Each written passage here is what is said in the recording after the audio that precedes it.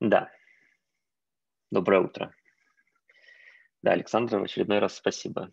Ну, вы как-нибудь присоединяйтесь. Ну, как бы, слушайте, если у вас какой-то страшный фон, это совершенно не проблема и не жалко. Но мне, правда, сильно приятнее на вас смотреть. Я тут на Майнере даже вчера проводил консультацию с условием, что камеры включены, просто чтобы посмотреть на тех, кого я учу, а то и, и, и не запомню вас. Ну, хотя ладно, с вами-то мы, наверное, увидимся в апреле. Так, значит, смотрите, э, мы с вами уже на лекциях там обсудили практически все про э, там, ядровые методы. Ну, хочется какие-то задачи вам рассказать про то, как вообще ядра там исследовать можно, на то, ядра это или нет, как там в СВМ можно использовать вот эти вот условия Кунатакера, которые мы с вами на лекции применяли. Ну, в общем, покажу, какие задачи решаются. На мой взгляд, некоторые из них содержательные. Вот. При этом вот я вам конспект потом выложу, в нем больше задач, чем я сегодня разберу. Вот. Ну, там есть какие-то технические унылые, вы их просто, мне кажется, потом сами посмотрите, это сильно удобнее. Вот. А я разберу те, которые, на мой взгляд, интересно обсудить с вами. Значит, давайте так и запишем. Задачи на ядра. Да. Так, ну давайте что-нибудь э, выберем с вами. Какую-нибудь задачу сейчас э, я какую-нибудь э, подберу. Так, это неинтересно. Ну вот, давайте вот эту обсудим. Значит, помните, я на лекции вам формулировал теорему и, конечно же, не доказывал ее, да, все как у нас принято. Формулировал теорему про то, как можно строить ядра из каких-то уже известных ядер. Что там их можно складывать, можно перемножать и так далее. Вот давайте какой-нибудь пункт докажем из этих. Вот, значит, задача 1 у нас будет такая. Вот, допустим, у меня есть два ядра, К1 от XZ, К2 от XZ ядра. А, и давайте покажем, что К3 от XZ равное К1 умножить на К2 тоже ядро. Вот. Ну и давайте вот, э, ну, доказательство неправильно, решение надо написать. И давайте вот сейчас, чтобы все-таки не совсем тут демократию устраивать, а чтобы всем понравилось, э, давайте так. Значит, смотрите, вот как-то вот сложилось, что у нас в семинаре, я, я честно, ну, как бы я э, семинары давно не вел, да, вот, и как-то я это упускал всегда, сейчас заметил, почему-то у нас в конспекте семинара затехано решение э, для частного случая. Для случая, когда э, ядра К1 и К2 соответствуют конечномерному спрямляющему пространству. Вот. И давайте я сейчас расскажу вот это вот упрощенное решение, про случай конечномерного спрямляющего пространства. А пока я его рассказываю, те, кто чувствует в себе силы, посидите и попробуйте доказать это утверждение для произвольного спрямляющего пространства. И расскажите потом, что вы придумали. Вот. Ну, насколько я помню, для произвольного случая вам нужно пользоваться теоремой Мерсера, и нужно пользоваться, вот, ну, как бы, вот помните, там про неотрицательную определенность матрицы было? Вот нужно вот это дело показать. Вот подумайте. А те, кто не хочет, я вам пока расскажу э, простое решение, которое, на мой взгляд, как раз показывает, чему соответствует произведение ядер. Значит так, эм, вот у меня есть два ядра, К1, К2. Давайте считать, что у меня э, эти ядра соответствуют некоторым э, отображениям φ1. Первое ядро соответствует отображению φ1, а второе ядро соответствует отображению фи2.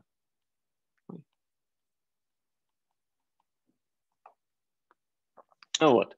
А, ну и давайте, значит, ну у меня там они какой-то размерности, допустим, там фи1 у меня отображает а, э, мое вот исходное признаковое пространство в rd1, а фи2 отображает мое исходное признаковое пространство в rd2.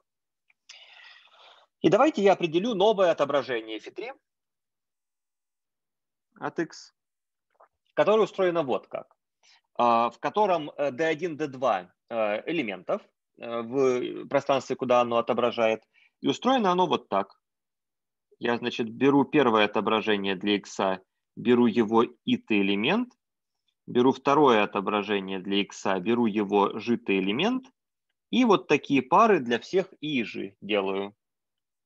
И у меня от 1 до d1, ж от 1 до d2. Вот. А, хорошо. Ну и давайте посмотрим, давайте зададим значит, ядро К3 через вот это вот отображение фи3.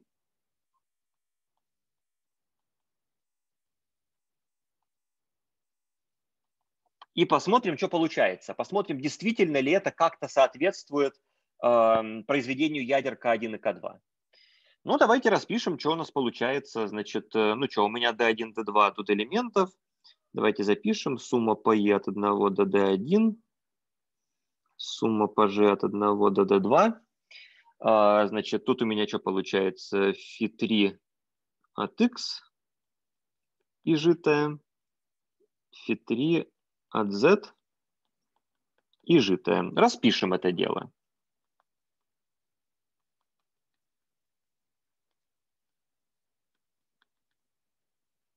Значит, а, что такое фи3? А, ну, это, собственно, вот фи1 там на фи2. фи1 от x и t, фи2 от x житая. Ну и то же самое для z. фи1 от z и t, фи2 от z житая. Ну, мы это дело можем сгруппировать. Теперь могу отдельно выписать все, что зависит только от и. Это φ1 от x и t на φ2, ой, простите, на φ1 от z и t умножить на сумму пажи φ1 от z и t, φ2, простите, умножить на, все путаю, φ2 от x и t умножить на φ2 от z и тут жито еще. Вот, вот теперь все правильно написал.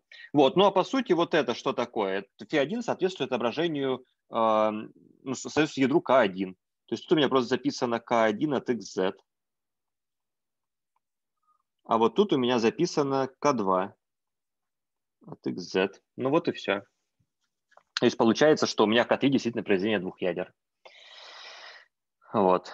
То есть мы показали, что с одной стороны К3 это ядро просто по определению, потому что это скалярное произведение какое-то, с другой стороны показали, что равно К1, К2. Вот. Так, ну что, товарищи, а кто-нибудь э, доказал для произвольного случая?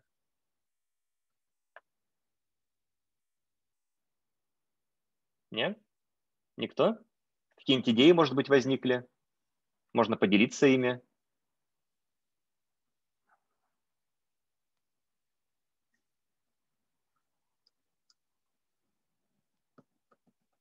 Давайте вам 10 секунд, если кто-нибудь хочет что-нибудь сказать.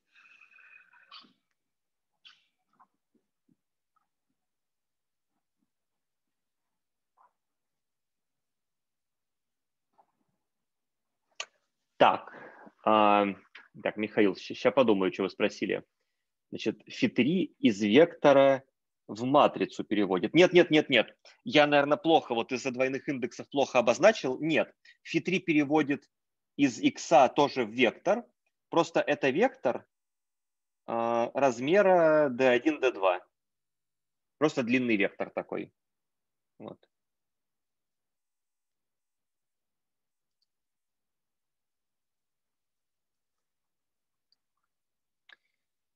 Uh... Ну ладно, никто не придумал. Тогда давайте я, значит, вам, если вы мне напомните, я вам или затехаю, или запишу тогда, как эта задача решается для бесконечномерного случая. Вот если кому интересно, потом напомните мне. Ну ладно, это такая неинтересная штука была. Давайте теперь, собственно, посмотрим на разные ядра и научимся с вами по виду ядра а, понимать, какому воспринимающему пространству оно соответствует. Вот, например, давайте обсудим такую задачу. Задача 2. Значит, представьте, что у меня есть некоторое конечное множество d. Ну, какое-то множество. Ну, известно, что оно в нем конечное число элементов. И давайте рассмотрим его какие-то подмножества А1, А2. и зададим ядро на этих подмножествах.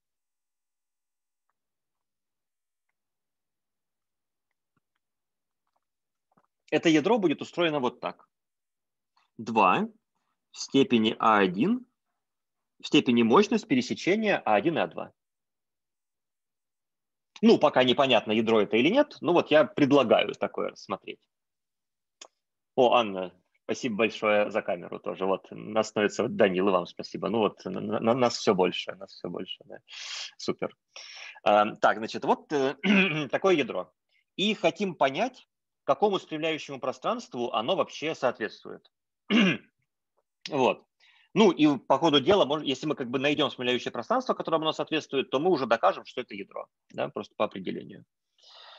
Ну, кстати, вот обратите внимание, да, вот как раз-таки вот это такой вот интересный момент, который показывает, где ядра могут пригодиться. То есть вот реально представьте, что вот у вас такая задача сложилась, где у вас объекты – это множество, да, например, там, ну не знаю,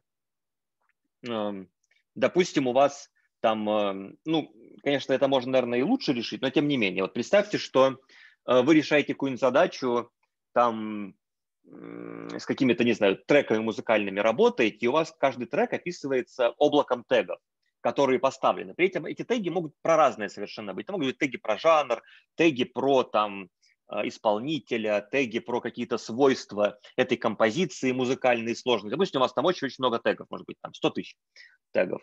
Вот. И используя только эти теги, вам нужно научиться там классифицировать эти песни.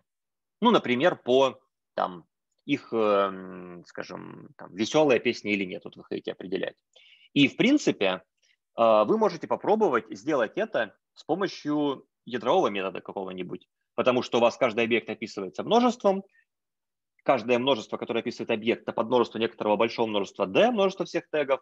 Вот, пожалуйста, вводите такое вот э, ядро тогда, и какой-нибудь SVM там применяете. Вот, с использованием этого ядра. Может быть, что-нибудь хорошее получится даже.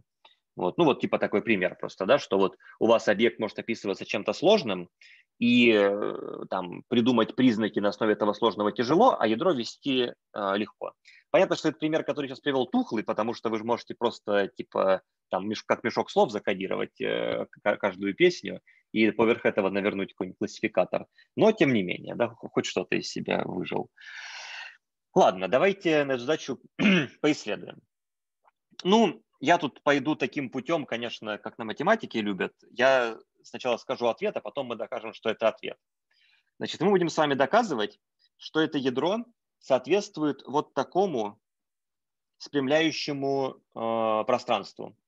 Оно соответствует отображению э, фи, которое переводит, значит, э, ну, давайте я это запишу, отображению фи, которое переводит, значит, э, все подмножества нашего множества d, 2 в степени d, я обозначаю множество всех подмножеств множества d.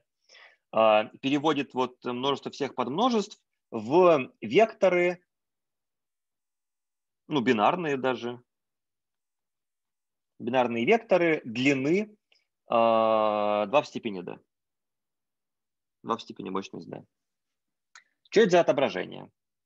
Отображение такое – Значит, ну, оно будет индексироваться всеми подмножествами у подмножества d. И как бы утый э, элемент этого вектора равен единице, если u полностью входит в а и нулю иначе. Да, то есть еще раз. У меня вот, допустим, мощность d там 3 тогда у меня φ будет переводить каждое множество в восьмимерный вектор. А, каждый э, значит, элемент соответствует какому-то конкретному подмножеству множества d. И это, по сути, такой характеристический вектор. Если первое подмножество входит в А, то я ставлю единичку. Там второе подмножество не входит, ставлю нолик, ну и так далее. Ну вот давайте какой-нибудь пример. Или не надо пример. Какой-нибудь мне примеры разобрать здесь или понятно, что происходит? Напишите кто-нибудь, если надо.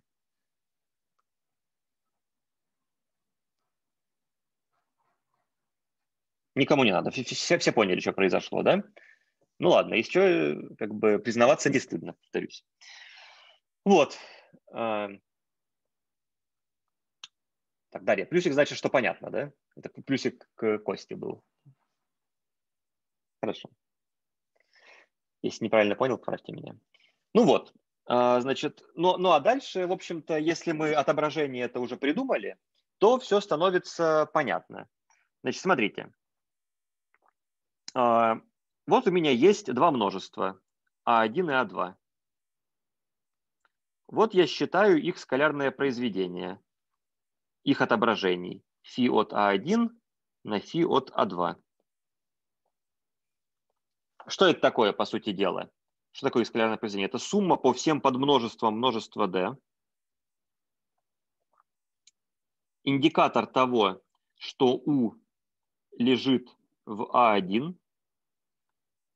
да, это вот значение как бы утого элемента для фиата 1, умножить на индикатор того, что u лежит в А2.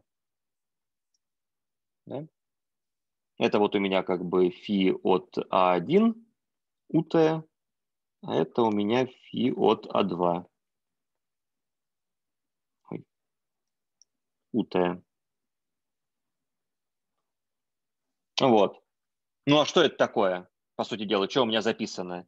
Вот это, это индикатор, по сути, того, что э, U является подмножеством пересечения А1 и А2.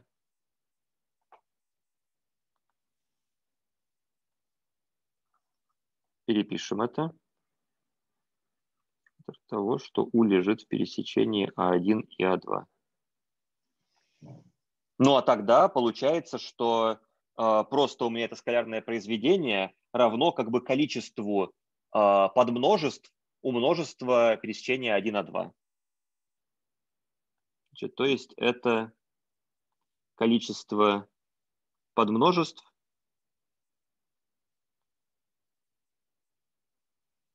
у вот такого пересечения. Ну а сколько подмножеств у пересечения А1 и А2? ну, их как бы,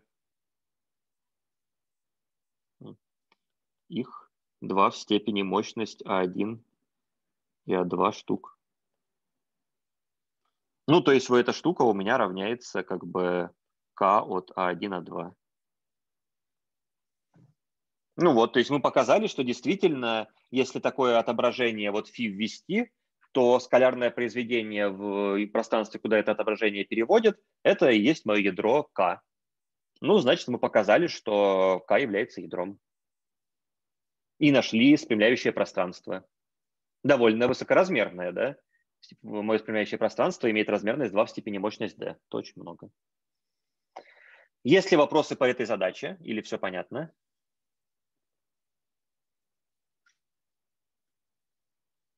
Может, что-то пояснить?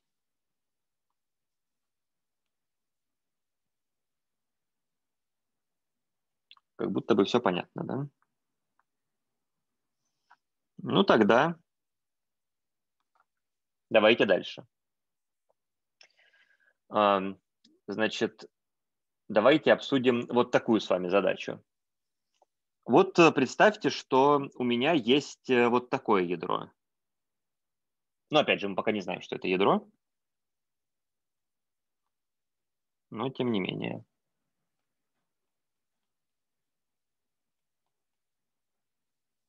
Вот. Ну и вопрос, какому спрямляющему пространству оно соответствует? Ну, или какому фи оно соответствует? Ну давайте, есть ли у вас идеи? Может, вы можете так, глядя просто на это ядро, сказать, какое там, скорее всего, отображение фи, какие как бы признаки оно считает? Кто-нибудь видит?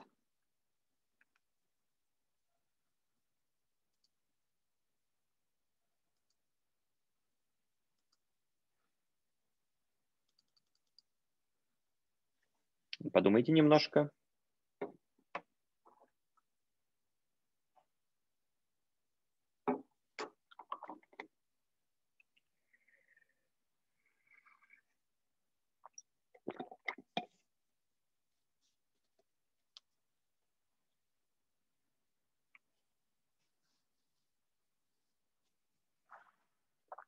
Какие-нибудь идеи?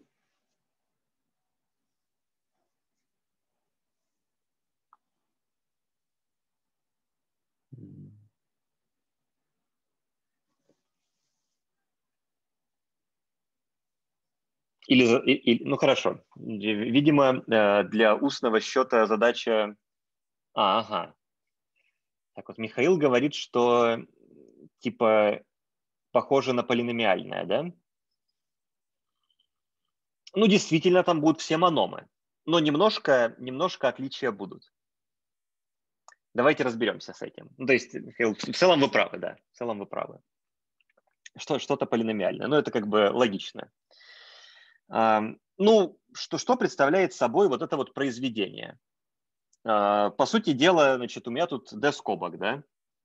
Там 1 плюс x1 z1, 1 плюс x1 z2, ой, x2 z2, простите, умножить на и так далее, умножить на 1 плюс xd zd.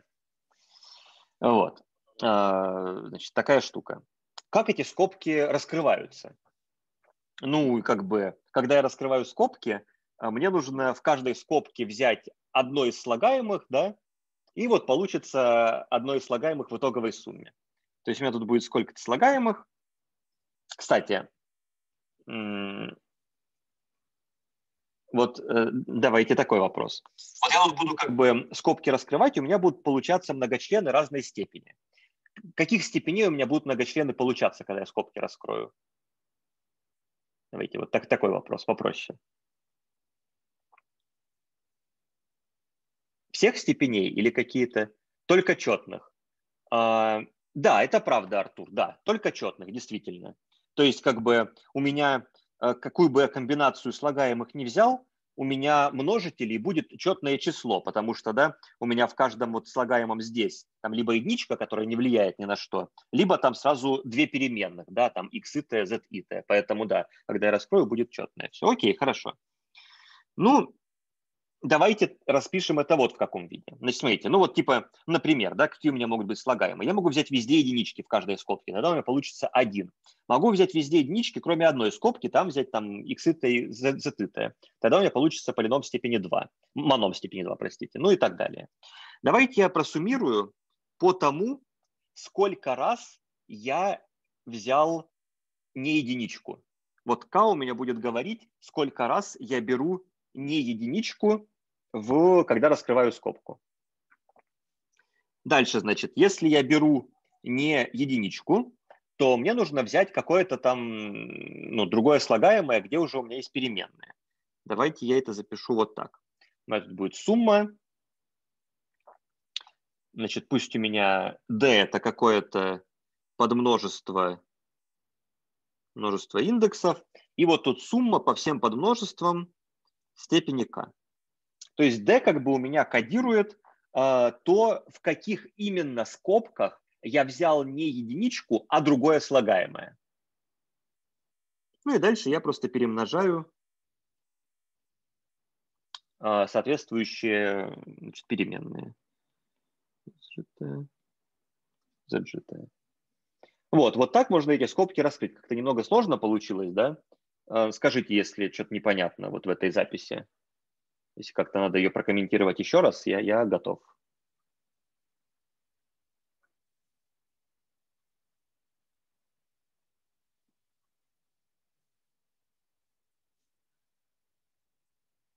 Надо? Ну ладно. Ну вот. То есть получается, что у меня как бы итоговое спрямляющее пространство – это просто все возможные мономы над исходными признаками.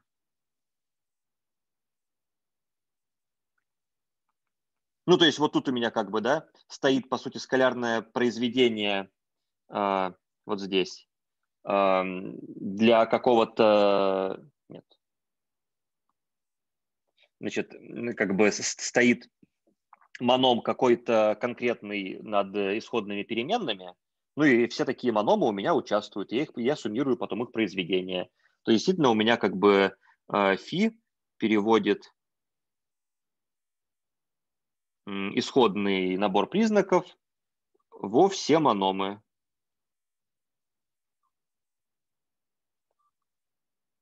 над x1 и так далее xd.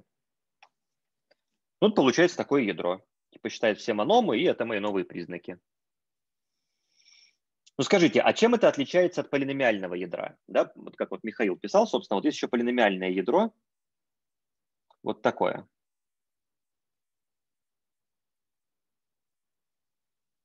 Только вот R еще в степени там какой-нибудь m. Чем вот полиномиальное ядро отличается от того, что записано сверху?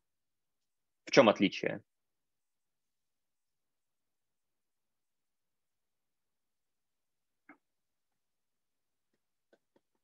Посмотрите внимательно. А, не может быть... А, Анна, а это вы, в смысле, вот не может быть в полиномиальном ядре или вот в нашем, который мы сейчас рассматривали, не может быть такого, вы имеете в виду? В нашем. А, не, ну смотрите, тут же у нас парные были из-за того, что... А, не, слушайте, а если у меня xxz, ну типа x1, x2, да, z1, тогда это уже и не скалярное произведение будет, да? У меня же как бы, я по сути представил мою штуку в виде там сейчас скалярного произведения фиат x на фиат z. Вот, где как бы у меня перемножаются только одинаковые мономы над исходными признаками. То есть типа x1, x2 у меня здесь умножается только на z1, z2. И в полиномиальном ядре, вот в этом, все точно так же. У меня там тоже перемножаются только одинаковые мономы. 1 от x, 1 от z. То есть вот тут они как раз схожи. Да, да, коэффициент, вот, да, тут вы правы, да, вот тут вы правильно. То есть все-таки вот тут у меня получается в моем ядре, что у меня все мономы как бы входят с одинаковыми весами, а в полиномиальном, да, у нас там возникали какие-то коэффициенты из-за того, что мы там по биному Ньютона все раскрывали. Ну и еще, есть еще одно отличие. Кто-нибудь может его заметить?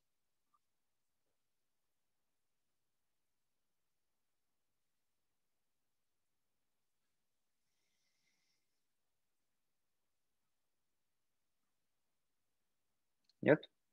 Ну, тут смотрите, отличие это в том, что у меня в ядре, которое мы в задаче рассматривали, я не могу регулировать э, степени мономов, которые у меня используются. У меня точно будут все мономы степь степени от 1 до d. А в полиномиальном ядре, пожалуйста, хочу мономы только до второй степени, беру m равное 2, у меня будет только до второй степени. Хочу мономы степени 10d, то есть чтобы у меня там э, как бы, хотя это не очень понятно, что такое будет, типа там будут повторы какие-то, но тем не менее можно попробовать. Могу m взять больше d. Это не очень имеет смысл, но тем не менее. То есть как бы в полиномиальном я могу регулировать сложность моего признакового пространства, а в этом ядре не могу. Ну, наверное, поэтому полиномиальное и используется чаще. Какие-нибудь вопросы?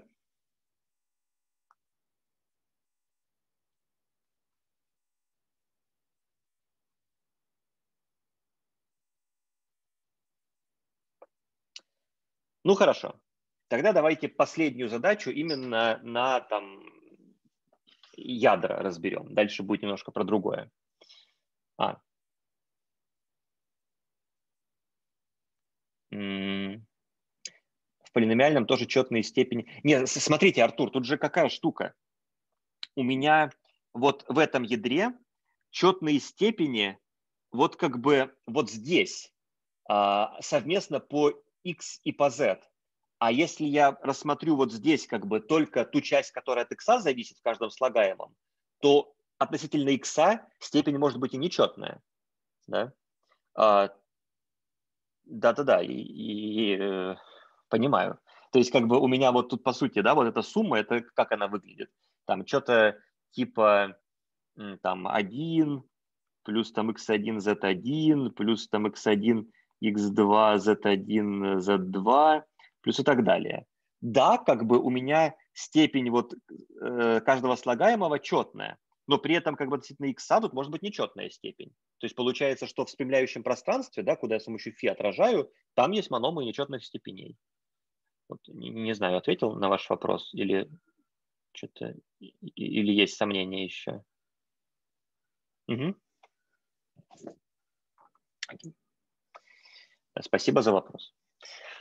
А, значит, э, Давайте вот такую еще задачу обсудим с вами. Вот, допустим, у меня есть какая-то произвольная выборка. Обучающая. Вот. В которой, которая про задачу бинарной классификации. Вот. А, такая выборка мне дана. X большое.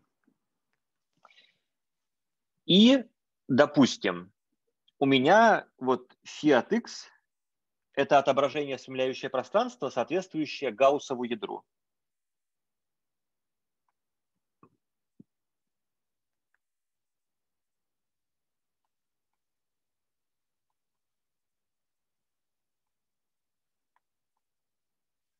Вот. Ну, как вы помните, оно переводит в бесконечномерное пространство. Пространство бесконечной размерности. Значит, вопрос такой. Значит, нас просят доказать, что в спрямляющем пространстве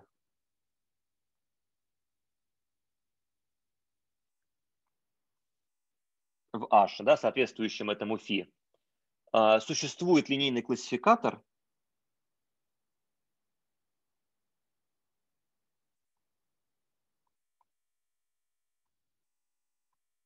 линейный классификатор, а, безошибочно разделяющий мою выборку. Классификатор с нулем ошибок. Давайте так запишу.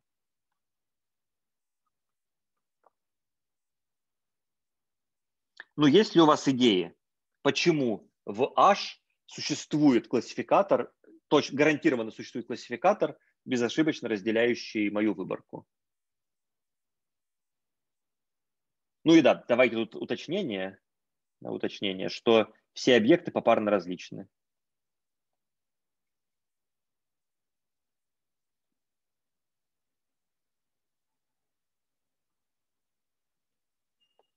Так, ну что, идеи какие-нибудь? Можно, можно любой бред говорить, можно микрофон включить, сказать любой бред.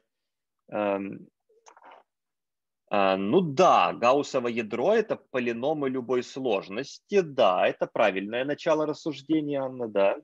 А, так, давайте. Ага. Ну да, то есть как бы на пальцах, да, у меня вот есть пространство бесконечной размерности, там есть L точек, ну, понятное дело, что я там ну, могу как угодно их разделить. Да? Если размерность пространства больше, чем число точек, а оно тут больше, то я могу как бы разделить любым способом. А, э, правильно. А есть идея как это формально показать? То есть все-таки, ну, может, э, математики с вами почти. Вот. Надо как-то это дело обосновать. Какие-нибудь предложения, может быть, у кого-нибудь? Как доказывать будем?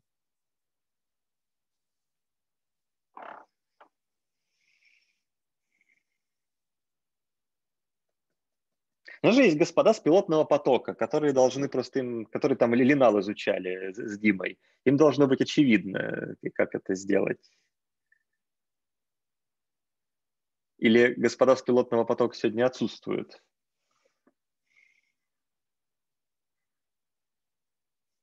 Видимо, отсутствуют. ну или присутствуют, но стесняются признаться. Ну ладно. А, если напомню, что такое гауссово ядро, ох, Артур, что же вы сразу-то не сказали? Ну, гауссово ядро – это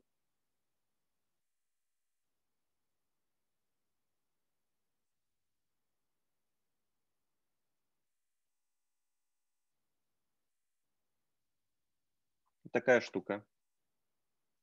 Ну, нам его вид сейчас не важен. Нам важно только, что оно соответствует фи, которая отображает э, значит, мои объекты в некоторое пространство бесконечной размерности. То есть мне важно только то, что у H, да, у пространства, бесконечная размерность.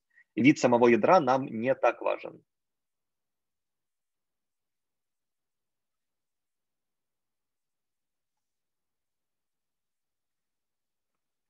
Ну ладно, давайте я начну тогда.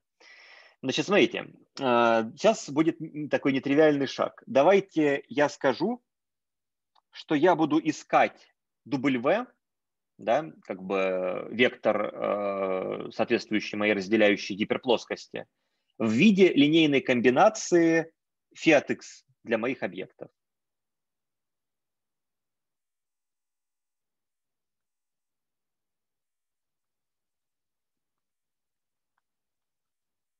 Значит, ну, попытаемся типа найти W в таком виде.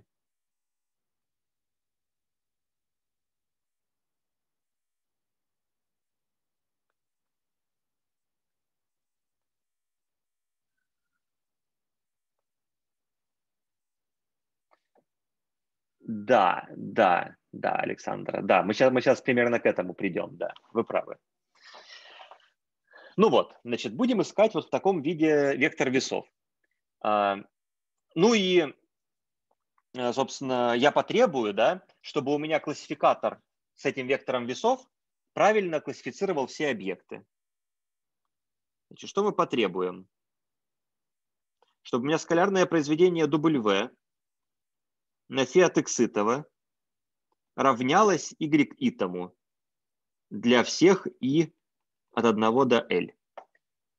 Ну, вообще говоря, нам хватило бы того, чтобы скалярное произведение умножить на y и было больше нуля, да, чтобы отступ был положительный. Но здесь я прям э, могу себе позволить, да, пространство бесконечной размерности, можно сильные требования накладывать, я прям потребую, чтобы скалярное произведение было в точности равно y итому ну, тогда у меня знак скалярного произведения будет тоже правильный, ну и типа у меня ноль ошибок будет. Хорошо. А, давайте перепишем в это условие. 4 y у меня должно быть равно скалярному произведению фи на x ой, W на фи от x. W у меня имеет вид, вот я предположил, вот такой, альфа и t на фи от x -итого.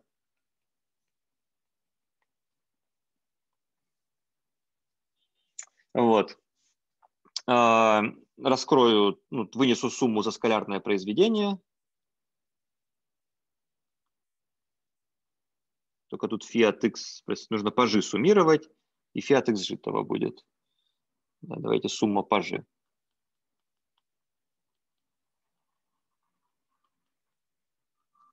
Вот, вот такое скалярное произведение тут получится. Ну и в свою очередь это у меня как бы что, и сумма, да, по альфа g. у меня, да, вот, вот теперь вроде все правильно написал.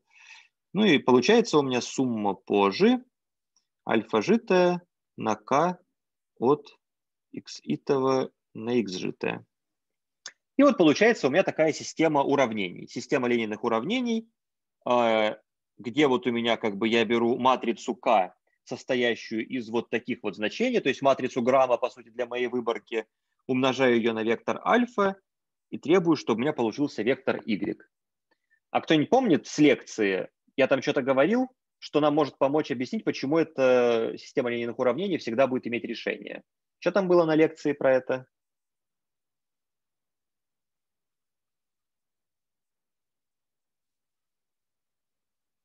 Ну, я запишу, давайте k, что k это у меня матрица как бы k от x xgt для всех пар объектов. Да, да, да, Костя, Артур, вы правы. Из, из лекции мы знаем, что матрица К у меня не отрицательно определена.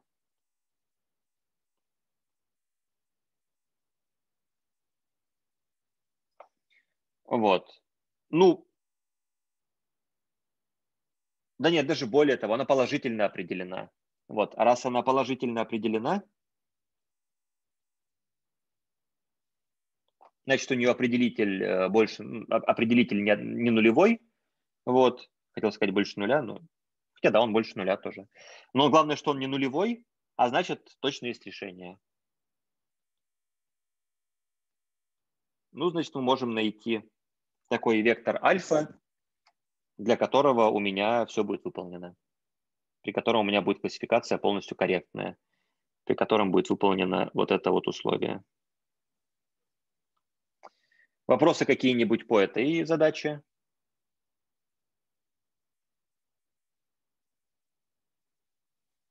Пока напишу слова задача 5.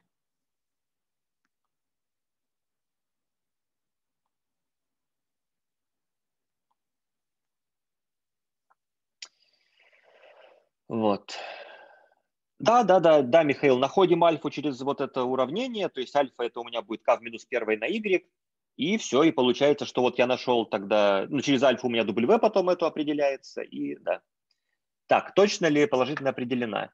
Ну, давайте, может, я, я в лекции сказал глупость, давайте я сейчас ее открою и гляну, что я вам там сказал за утверждение. Да, да, я утверждение формулировал, что... А, я формулирую утверждение, что она не вырождена. Она не вырождена. Да. А по теореме Мерсера она инициативно определенная. Значит, она, раз она не вырожденная инициативно определенная, значит, она положительно определенная. Вот, вот так. Но я думаю, ну, если я не прав, вы мне скажите, если что-то не так сказал. Так, э, да, Данил, все правильно. Мы нигде не пользовались тем, что это гауссово ядро. То есть если вы, если вы придумаете другое ядро, которое тоже бесконечно мерному пространству соответствует спрямляющему, тоже это утверждение будет верно, совершенно да, правильно.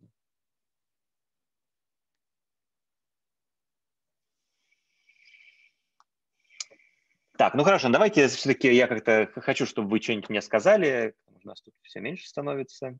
Вот хочу, чтобы вы что-нибудь мне сказали. Вот э, такая задача очень простая. А, значит, дано какое-то ядро.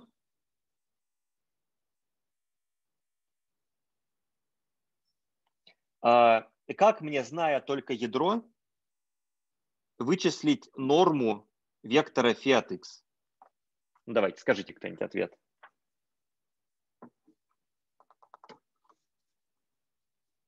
Ну, подставить вместо zx и беречь корень.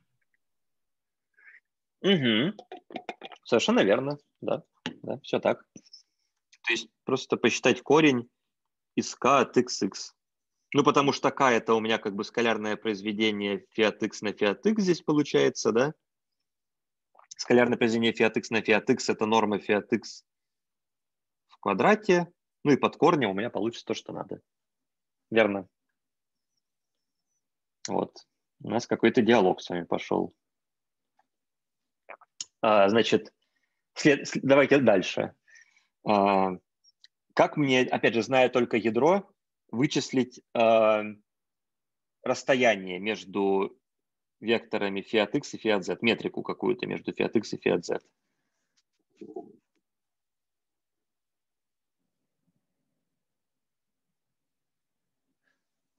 Артур, да-да-да, значит, э, значит вы правы, теорема Мерсера только неотрицательная определенность, но посмотрите в конспекте э, первой лекции этого семестра, в конце, когда я про гауссовые ядра рассуждал, там еще одно утверждение было, мы с вами его обсуждали, что если я возьму матрицу грамма, соответствующую А, Данил, я вам наврал, вы пользовались гауссовостью, да. Э, да, да, да, да, да, Данил, да, обманул вас, простите, простите, да. Там было утверждение, что матрица грамма для гауссового ядра невырожденная. Вот. И, собственно, вот мы как раз этим воспользовались. Да. К для гауссового ядра надо дописать.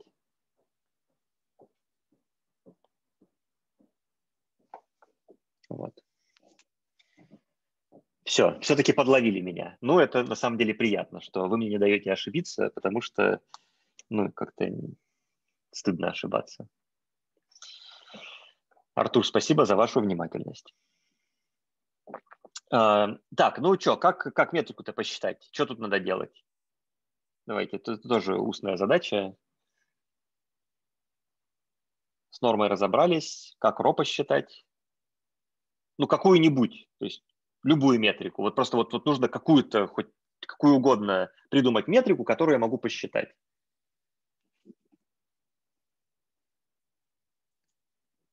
Косинус, так, Михаил, значит, косинусная, не косинусовая мера. А, ну, кстати, косинусная, она не метрика вроде. Ну, или метрика, но типа там... А, ну, кстати, там аркосинус. Ага, да, Данил, вот, вот вы правы, да. Корень есть... норм, ну там норм, норму в квадрате. Если ро это норма в квадрате, то да. то же самое примерно. Да. Вот так. Ну, а типа, а норму мы уже умеем считать, да. Ну и, собственно, вот э, Данил написал правильный ответ, да. Только под корнем еще эту штуку надо. Да, окей, хорошо. Ну ладно, давайте на этом совсем с ядрами закончим. А, давайте поговорим про какие-нибудь э, задачи уже про СВМ. Вспоминаем там, что в СВМ было у нас. И давайте вот такую задачу, номер 7. Я понимаю, что это как бы все довольно уныло, но давайте я вам, не знаю, пообещаю бонус какой-нибудь в конце, я вам там веселую историю в конце расскажу. Вот. Ну, не знаю, сколько веселую, для меня веселую. Вот. Нам немного осталось, э, две задачи разобрать. Или три. Посмотрим. Значит так, задача такая. Пусть у меня линейно разделимая выборка.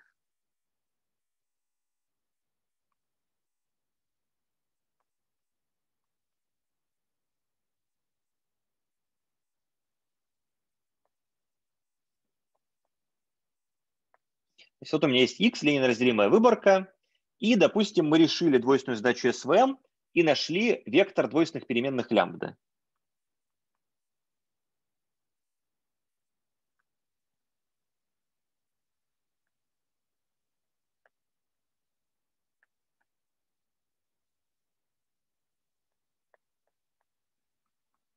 И нашли лямбды. Ну, вектор лямбд, это, это вектор. Их у меня столько, сколько эм, объектов в обучающей выборке. Лямбда 1, лямбда L. Нужно доказать,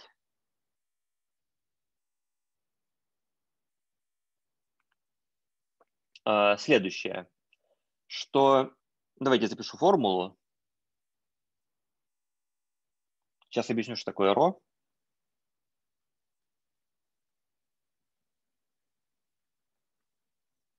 Ну, что выполнено такое равенство, где ро – это как бы половина ширина разделяющей полосы. Ну, то есть типа 2 ро – это ширина разделяющей полосы.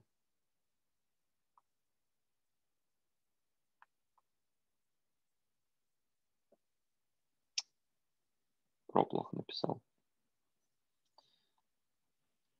Так, ну давайте, чтобы я понимал. А, ну вот, собственно, Данил уже мне ответил на мой вопрос до того, как я его озвучил. Я хотел спросить, помните ли вы двойственную задачу? Ответ нет, не помните. Ну, тогда сейчас э, напомню. Значит, э, ну, признаюсь, я двойственную задачу сам наизусть не помню, поэтому я сейчас, конечно, воспользуюсь подсказкой. Значит, двойственная задача СВМ устроена вот так.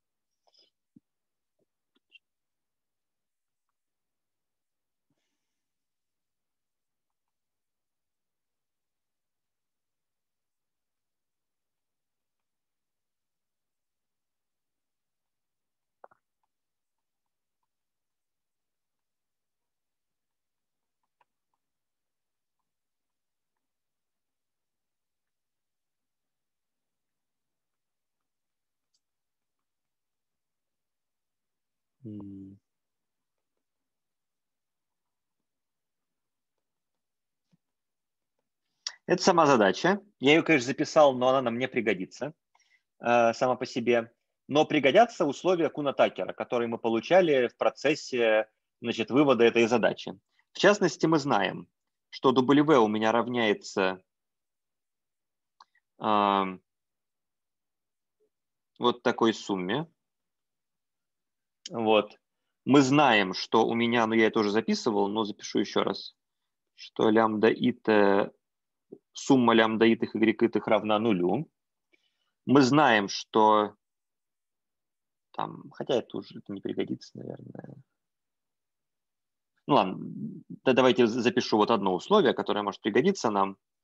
Знаем, что у меня есть вот такая альтернатива. Либо у меня лямбда ит равно нулю, а, либо у меня выполнена вот такая штука.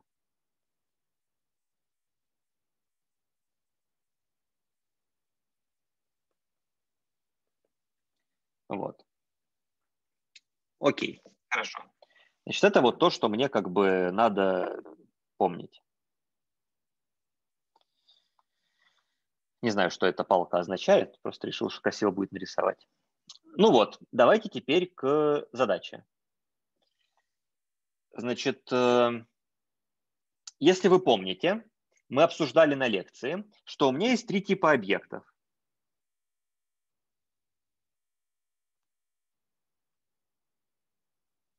Значит, э, есть так называемые э, как они там, периферийные.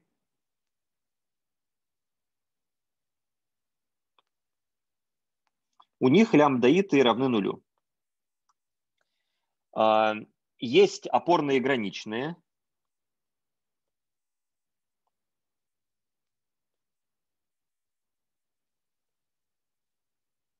Это объекты, у которых лямбда и t больше нуля, а кси и t равно нулю. То есть они лежат ровно на границе разделяющей полосы. Типа вот у меня выборка какая-то, да, с а, вот какими-то такими объектами. И вот типа вот у меня разделяющая полоса тут. И вот, значит, периферийные, это давайте вот какой-то какой сделаем color coding. Значит, э, периферийные вот давайте зеленым у меня будут обозначаться. Это вот у меня вот эти объекты. Вот, потом есть у меня опорные и граничные какие-то, давайте вот их вот таким цветом, опорные граничные. Это у меня вот эти объекты, которые типа, ну тут они не на границе, но давайте считать, что на границе лежат. Вот они. Ну и есть еще опорные нарушители.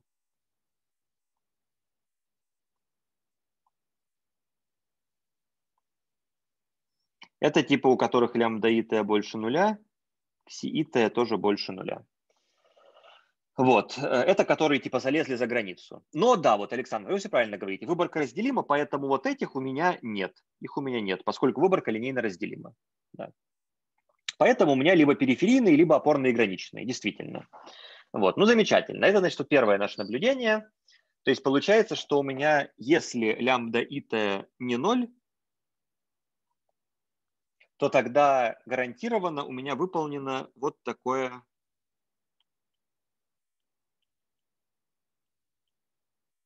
уравнение. То есть, типа, если лямбда это не 0, значит, объект точно лежит на границе, значит, у него отступ ровно единичный. А, Артур, да, значит, смотрите, если кси от нуля до единицы, он еще не залез на другую половину, но на этом объекте э, hinge loss уже не нулевой да, то есть я уже, я уже, мой лосс начинает штрафовать этот объект, потому что он внутри разделяющей полосы. Ну, помните, да, у меня hinge loss, типа он ноль только начиная с единичного отступа. Поэтому как бы я хочу наказывать тоже. Я, я, я, такие объекты выделяю в отдельный класс. Окей, хорошо. Значит, вот эта штука известна. Ну, а если есть это уравнение, я могу тут типа все домножить на y и t, э, там попереносить и получить вот такое уравнение. b равняется y и t минус скалярное произведение w на x и t. Ну, типа умножил на y t и перенес скалярное произведение в другую сторону. Получил вот такое уравнение. А что надо было показать?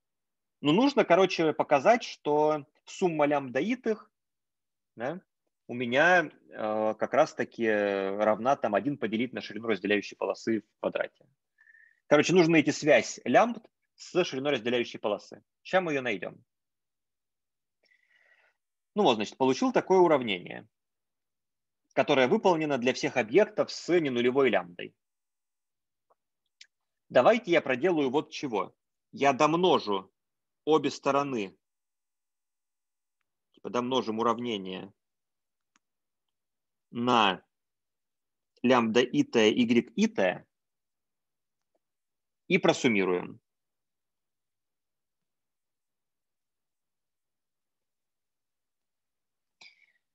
Зачем я это делаю? Ну, смотрите, а, как можно было догадаться до этого? Ну, типа, в это уравнение, окей, там оно на лекции было, можно вспомнить, что такое возникало. Так, сейчас, Анна, вопрос какой-то. А смотрите, у меня же y это либо плюс один, либо минус один. Поэтому что просто y, что 1 делить на y, это одно и то же. Вот. Да, если у меня... Да. Угу. А, так вот, значит, как можно было догадаться? Ну вот это уравнение мы знаем. Теперь мне нужно как-то, значит, короче, как-то ввести в него лямбды, с одной стороны, и с другой как-то сделать, чтобы в нем возникла норма W. Потому что мы помним, опять же, из вывода СВМ, что ширина разделяющей полосы – это 1 делить на норму W. Короче, мне вот как-то нужно получить какое-то уравнение, в котором есть и сумма лямбд, и норма W. И тогда я, наверное, смогу связать сумму лямбд с шириной разделяющей полосы.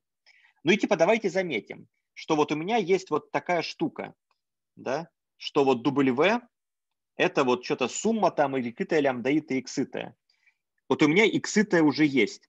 Если я вот сюда внедрю сейчас лямбда ит, y ит и просуммирую, то у меня получится скалярное произведение W на W, а это норма W.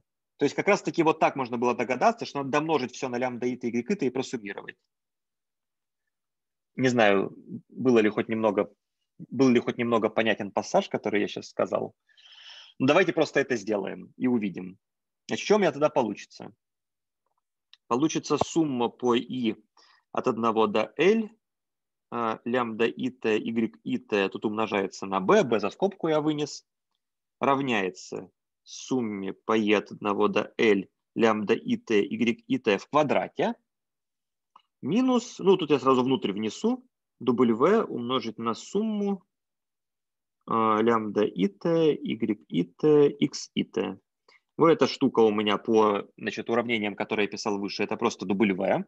И тогда вот это у меня превращается просто в норму W в квадрате.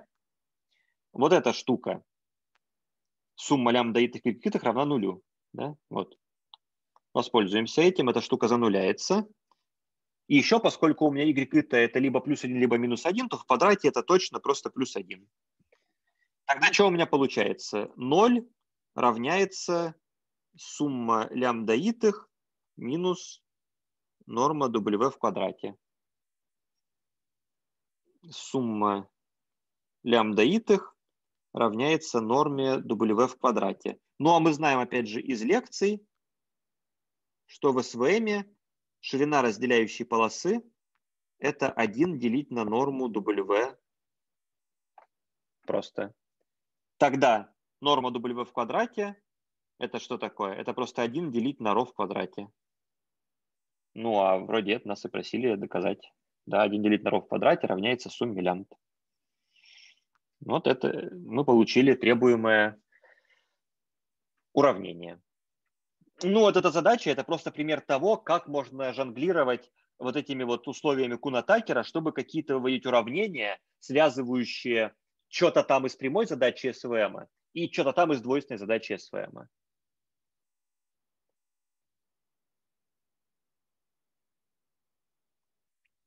Вот. Окей, хорошо. Есть ли какой-то полезный смысл этого уравнения? Нет. Ну, нет, ну, в смысле, ну, там смысл такой, что вот вы решили двойственную задачу, и типа вот только по ее переменным вы можете понять, там, насколько широкая у вас разделяющая полоса. А, нет, нет, есть, есть, есть, Михаил, есть, да. Значит, это, это означает, что вот эта штука, только сейчас понял, что вот эта штука в задаче, которая решается в двойственном СВМ, это по сути регуляризатор.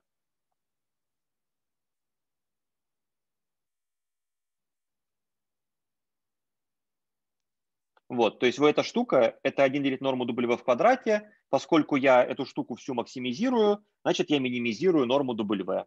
То есть в двойственной задаче, оказывается, у меня тоже L2 регуляризатор стоит. Вот такой смысл. Как-то даже... Надо, надо это написать будет в конспекте.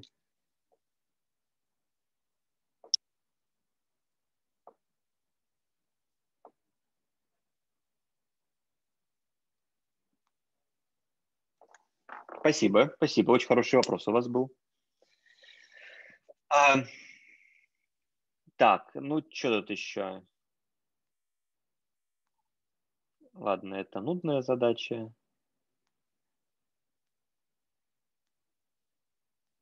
Ну, давайте вот такую последнюю решим.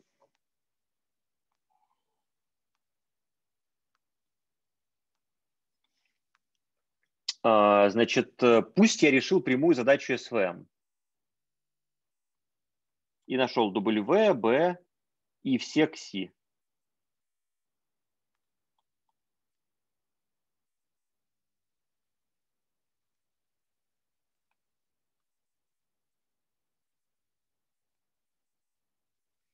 Вот решил. Допустим, я знаю, что кси3 положительное, строго положительное. Нужно найти отступ э, объекта x3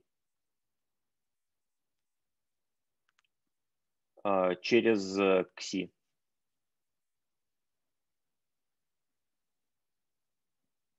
Вот. Ну, есть идеи, как это сделать? То есть как только через КСИ, да, не используя другие какие-то там знания о выборке, как только через КСИ выразить отступ. Давайте немножко подумаем. Условия дополняющей нежесткости или что-то там такое было через лямбда 3 да. умножить на вот y3. На что совершенно, совершенно верно. Значит, есть такое, что либо лямбда 3 равно нулю. А, нет, нет, кстати, не, нужно с другого начать.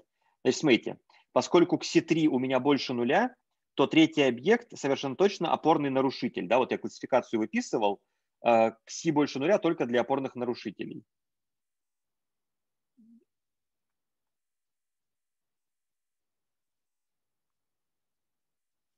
А мы знаем из лекции, что для опорных нарушителей а, лямбда точно равняется c. Дальше условие дополняющей нежесткости, что либо лямбда 3 равно нулю, либо а, y3 на w на x3 плюс b а, равняется 1 минус кси3. Лямбда 3 не 0, значит выполнена вот эта штука. Ну вот это, это у меня отступ, да? То есть получается у меня отступ на этом объекте это просто 1 минус кси3. Ну, тупая задача, конечно, но тем не менее. Вот, вот. Ну, хорошо. Какие-нибудь вопросы у вас?